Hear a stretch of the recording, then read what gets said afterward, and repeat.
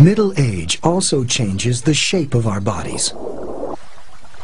Exercise alone isn't enough to keep us in shape anymore. At 20, it was easy.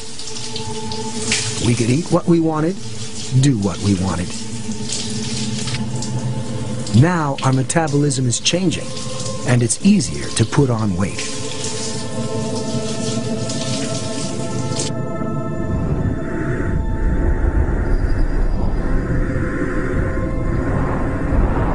The explanation is in our blood. In middle age, the level of several hormones start to drop.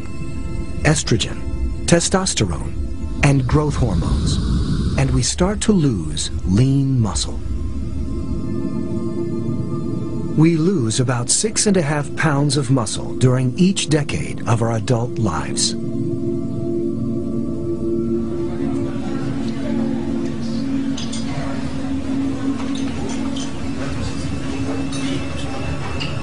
Less muscle means the body burns fewer calories. We need less fuel.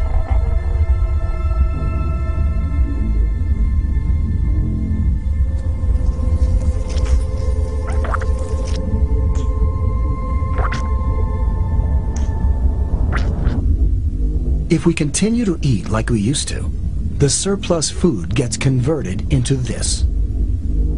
Fat.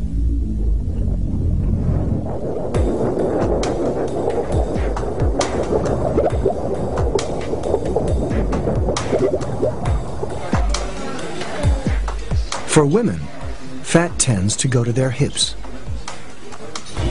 It's the body's way of providing a steady energy supply for pregnancy. Men store fat in a different area, their bellies. Belly fat evolved for quick energy release. It helped sustain our male ancestors during hunting trips.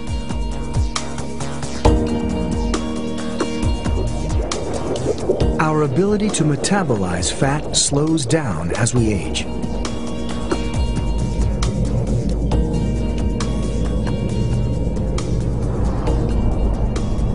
Inside each cell in our bodies, there are tiny structures called mitochondria.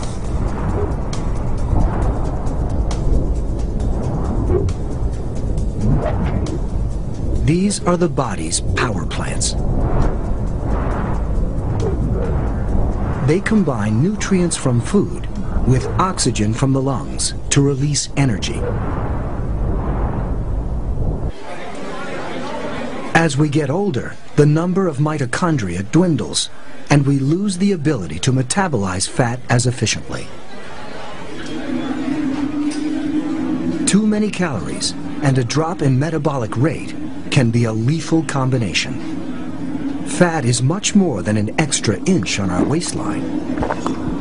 It spreads throughout the entire body.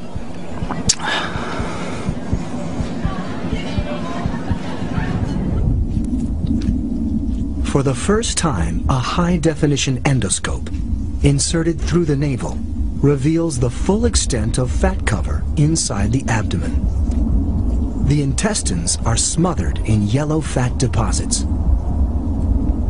Fat finds its way into almost every available space of our bodies, even inside our blood vessels. Deposits build up on the inner walls, narrowing the tube. The heart has to work harder to pump blood through the restricted vessels.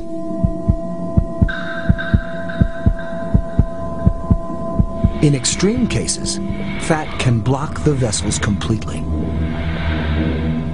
If fat blocks the arteries that supply the heart, the result can be fatal.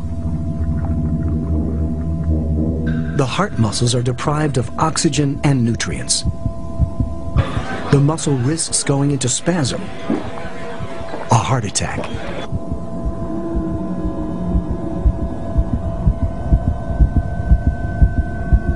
Heart disease is the biggest killer in the Western world.